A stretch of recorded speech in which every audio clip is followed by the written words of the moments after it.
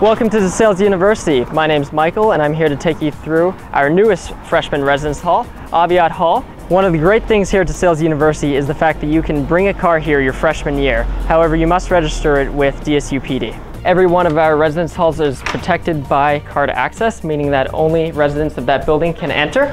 In every residence hall, you'll find a desk where the resident advisor will sit every night from 8 p.m. to midnight. They're here and available to answer any of your questions. You'll find a laundry room that provides free laundry.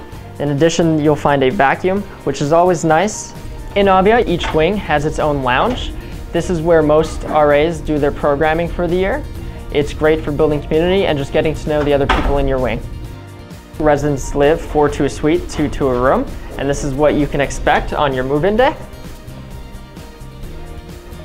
Every room has AC and heat. In addition, they are cleaned every seven to 10 days. And of course, each room is furnished with a desk, a wardrobe, and a dresser for each resident.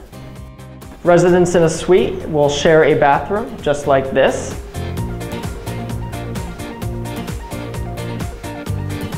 Finally, in Aviat, you'll find that there are two study lounges, both housed on the second floor. These are wonderful for studying and doing homework, especially during finals week. Thank you for taking the tour. I'll see you later.